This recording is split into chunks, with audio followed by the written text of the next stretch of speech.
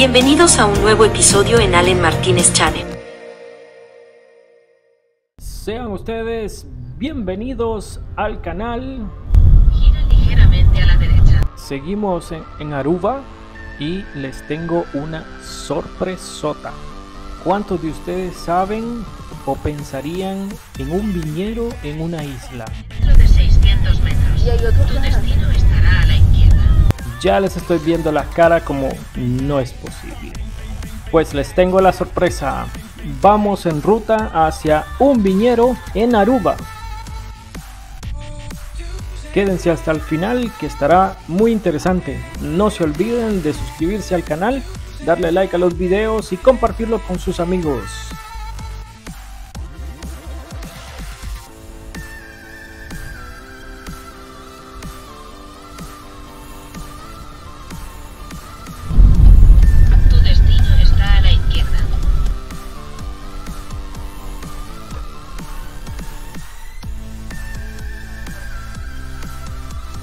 Y a continuación se los muestro.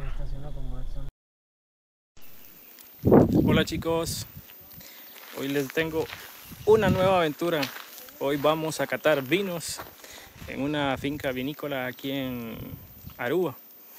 Estamos vestidos así de Teletubbies porque está lloviendo y vamos a hacer eh, la visita, el tour y luego degustar vinos y un ron que fabrican aquí en la isla.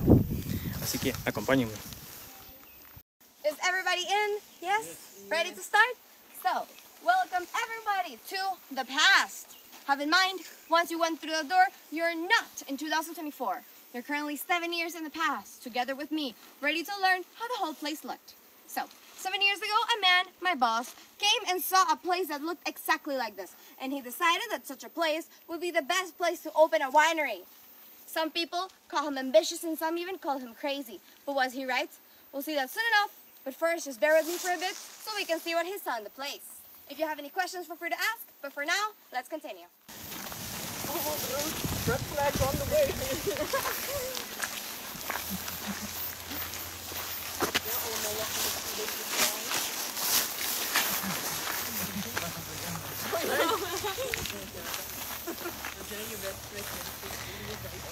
Estamos en la mitad de un bosque de cactus.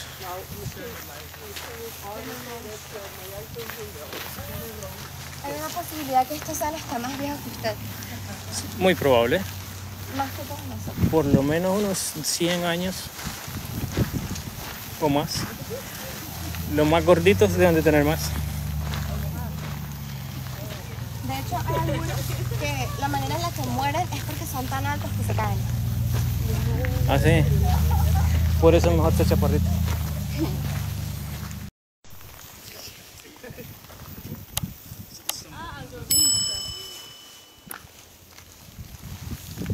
So, welcome everyone to the first stop of our walk through the past. Here, I would like to share with you guys not only the amazing view we have of the Alto Vista Chapel, but also a small story, the story behind it, and why we showcase it in our logo. So, we have to go to the past again, but not seven years like in the beginning. We have to go hundreds of years. To be specific, back to the 1700s, when the Caquetío Indians, locals of the island, lived here in peace. The locals, the Caquetíos, had built a place to worship their beliefs. But the Spanish came, and you guys might know what the Spanish brought with them. They brought plagues, diseases, and death. So the locals were forced to move from the north to the south, leaving the place desolated, alone, and falling to dust. Although not everything ended up being lost, and that's why in the 1900s, a Dutch from the Netherlands came with a mission of restoring it to its former glory, building it back from the ruins and making it Aruba's first Catholic chapel.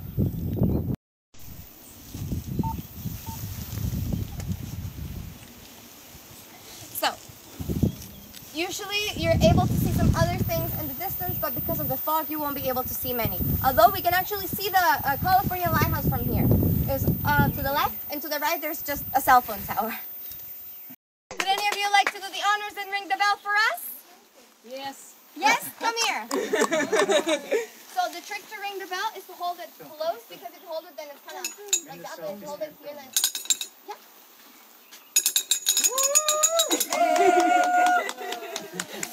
So Behind me, there's a blue door in the middle of nowhere, making it quite fitting because this place was also built in the middle of nowhere. Now, behind the door, it's the present back again, if I can put it that way. Remember, we're currently in the past. This is what separates us from it. So if you're ready to leave the past behind and continue, you can now soon follow me.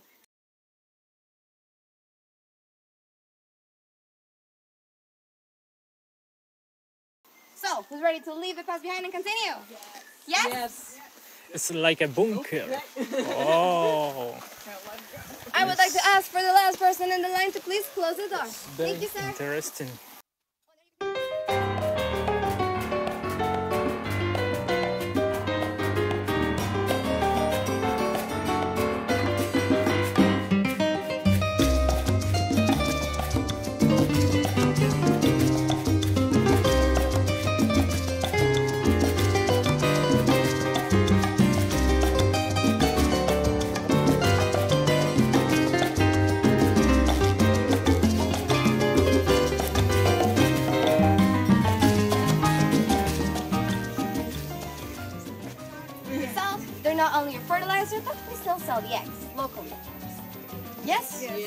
Let's continue.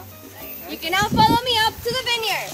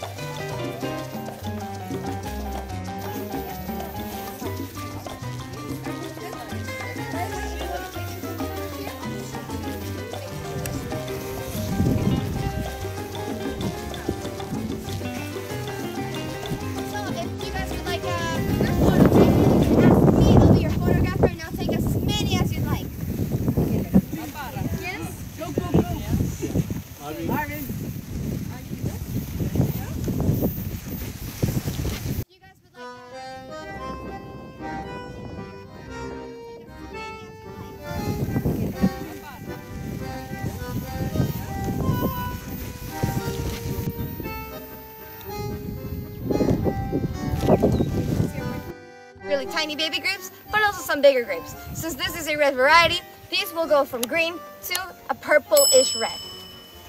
Let's continue.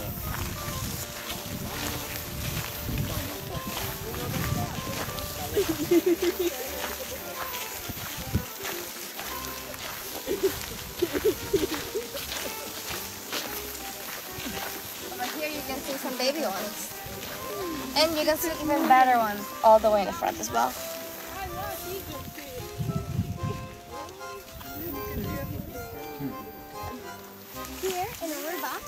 Three issues we have to face in order to be able to grow the grapes. First one, you can actually feel it yourself because it's right underneath you. It's the soil. The soil is more resistant against plagues and harsh weather conditions. On top, the European variety that we love and enjoy for its taste. In simple terms, American root plus European root makes better root for Aruba. Now, this could be the first time you hear about grafting, although it's not a really uncommon thing to have. Um, in Europe, there used to be, well, there once happened a really big plague that took a lot of the vineyards with it.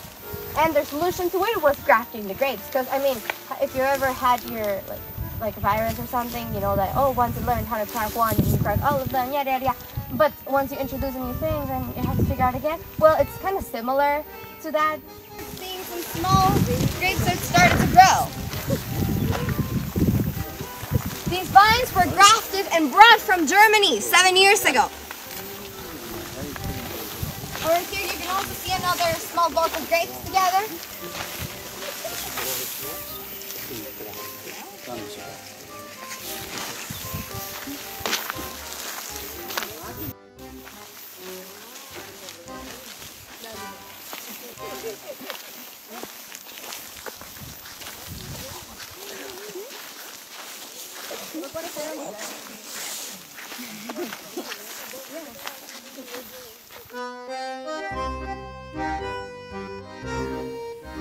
Jamás me imaginé que en una isla fuera posible tener un viñedo y mucho menos cultivar uvas. Fantástico.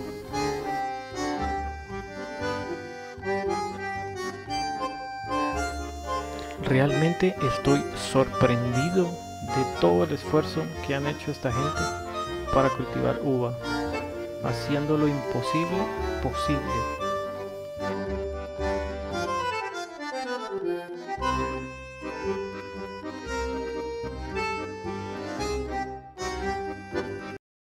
Because we had so many of them, we decided to make the building where you guys will be doing the tasting and where we make the wine out of them. So, if you guys are ready to go through the secret little entrance number three, so we can watch the video and then start the tasting. By the way, last person in the line, you don't have to close the door because if you do, we might end up in another country.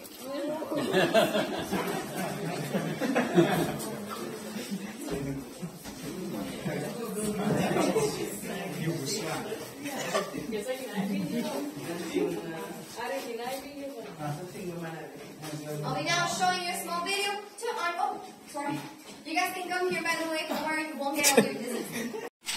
carry out the hardwood that is required to grow sugarcane in desert-like conditions. And just when it is ripe to harvest it by hand, everything is recycled or reused to be self-sufficient.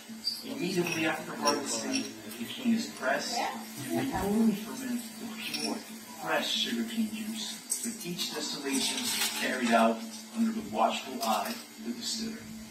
Red Star rum is named after the red star on the Aruban flag. Either straight up or in your favorite cocktail, you will savor the distinctive taste of this rum, capturing the essence of the island. This is Red Star rum, made in Aruba's first estate distillery. So, who's ready to try it? Yes? Now, I will recommend that you guys sip it little by little, but if you're feeling adventurous and would like to shot it, go ahead. I'm the one to stop you. That's it. There you go, guys. No problem, enjoy it. There you go. Bueno chicos, ha terminado el tour. Ya hicimos la cata de vinos y la cata de- del ron que se produce aquí en Aruba. Y tengo aquí a uno de los miembros del equipo que nos va a comentar más detalladamente lo, de- lo del tour y de los productos que están ofreciendo aquí en Aruba.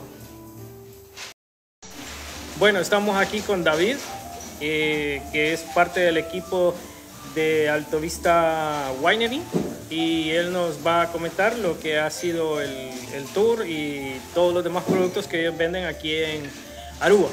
Cuéntanos, David. Bueno, entonces esto es una experiencia totalmente nueva porque abrimos hace 11 meses.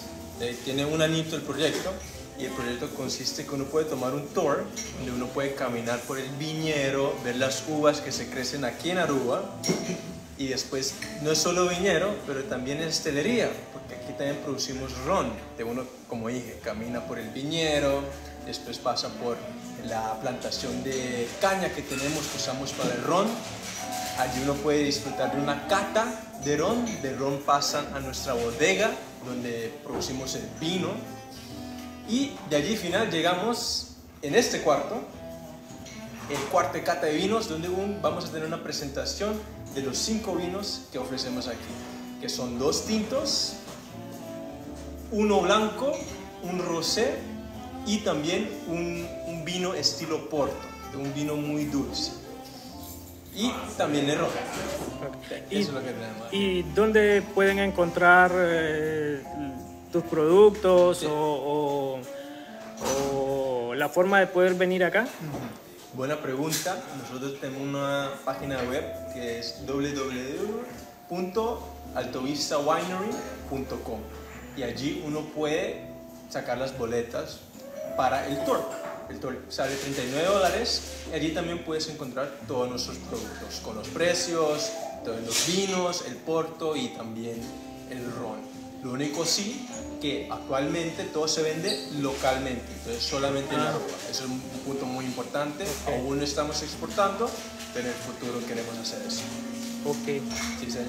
Bueno, pues eh, invita a la gente a que, que venga aquí a, a Alto Vista para que no se pierdan esta experiencia de- del vino y del ron. Muy agradable. Entonces los quiero invitar a todos los que están viendo este video para venir al único viñero y destilería aquí en Aruba, a todos los seguidores de Allen Martínez que vengan aquí en Aruba y disfruten de este tour maravilloso. Listo, muchísimas gracias y quedamos muy encantados. Gracias a ti, Allen.